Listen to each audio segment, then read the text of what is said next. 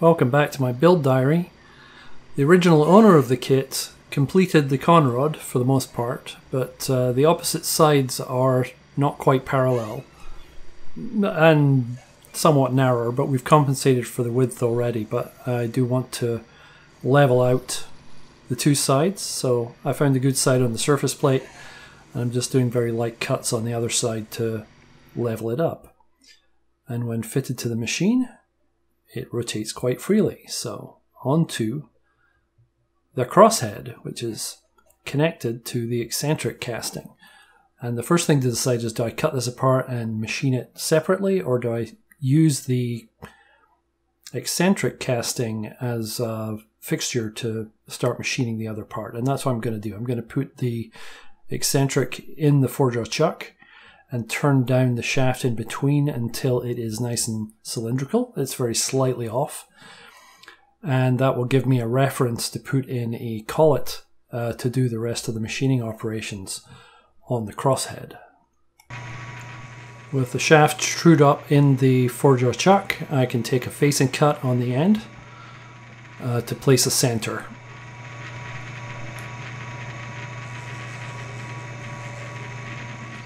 This is Build Diary, not a tutorial. I am a rank amateur and I really don't know what I'm doing. If you are, however, enjoying this Build Diary, please like and subscribe. And if you have any questions or suggestions, please put them in the comments below. Uh, some comments from watchers have been very helpful so far. So thanks again to you guys and keep it coming.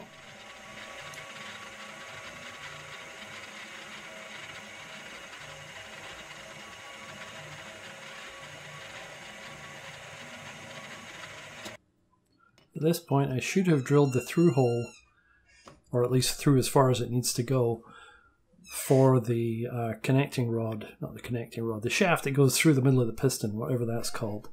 Uh, but I did that later, and I think I would have had better concentricity if I'd done it here. I have an extension on my tailstock uh, center because the tailstock is really short and it just doesn't reach and allow me to get the tool post in at the same time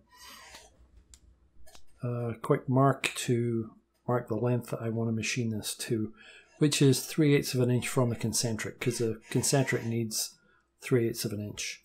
And again, this is not a critical measurement. I did set that caliper before it turned off and turned back on again. I'm using the parting tool here. Uh, as before, this is really the most rigid tool I have for getting into these tight spaces. Sorry about the creaky chair. I'll try not to move around and uh, it seems to work okay for these very light cuts. And here I'm just taking it down to clean off the casting to get it cylindrical. This is not a critical dimension and I want to leave as much metal as possible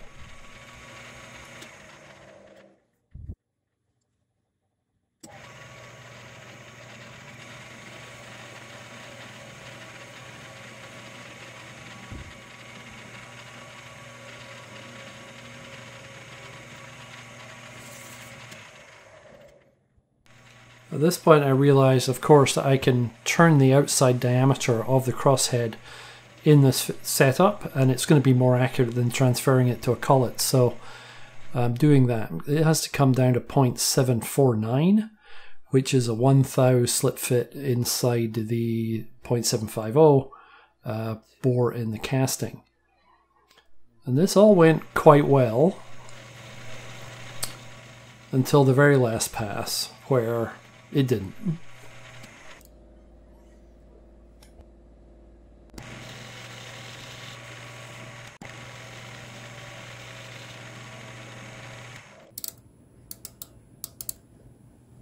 That should be perfect. That should be it. Now at this point I had it down to something like 0.7495 and it was almost going in, it was sort of kind of tight and in retrospect I should have just used a little bit of emery paper to bring it down, but I thought, oh, I'll run it through. I'll do another spring pass, uh, take it down to 749. And uh, that was the wrong thing to do. Because on this pass, you can't see it doing much, but it's taking more metal off than it's supposed to.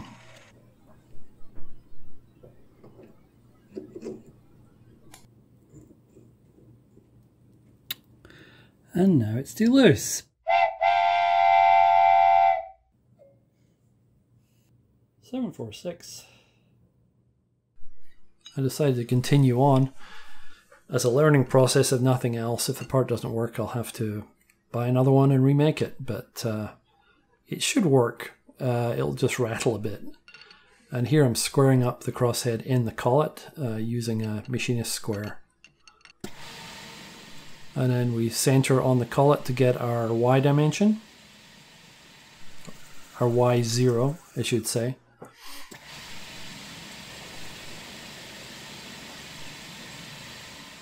Then I find the Z0 for the gudgeon pin. I call them a gudgeon pin. I don't know what Americans call them. Wrist pin uh, goes in there, and using a center drill to try and taking it gently to overcome the divot that's already there, and uh, and then drilling with the only 330 second drill I could find, which I think is out of my Dremel kit. Uh, which sort of went okay until this happened. Uh, right at the very end of drilling, it moved the collet block. I don't know why. Brass is funny. But uh, it seems the holes were okay. Once I cleared the hole out, it, it seemed to work.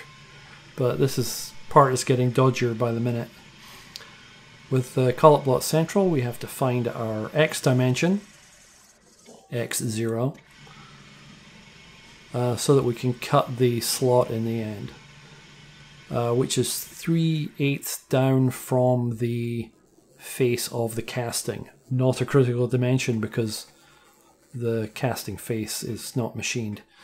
So I'm just eyeballing that and then a little ramping uh, CNC G-code program adapted from the valve ports that we did in the cylinder just to uh, zigzag down ramp down. I think they call it ramping down to the bottom of the hole. And then another one to do essentially a square pass around the slot to widen it out. Uh, using conventional milling here, perhaps I should have finished with a climb cut, but it seems to work.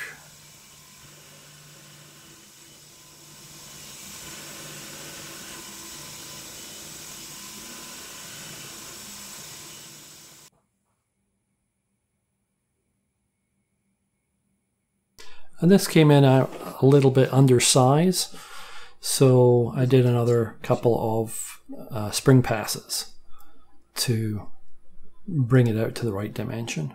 And after about two spring passes, it did come out. These little eighth inch end mills apparently flex quite a lot when they're at full depth and you're side milling. Uh, but that now goes in. Oh no, maybe maybe another. Yeah, one more one more spring pass.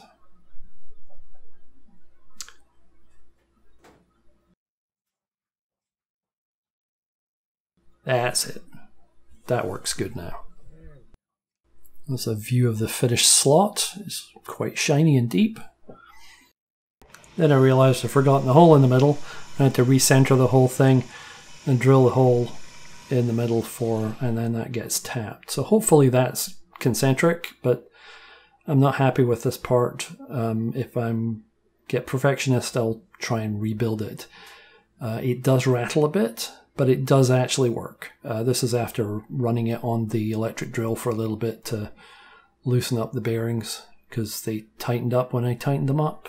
They were okay before, but now they're a bit tight. So, and that looks fairly concentric, but I'm not 100% confident. We'll figure that out when we get the piston in and if it's not concentric then we'll just remake that part. Thanks for watching.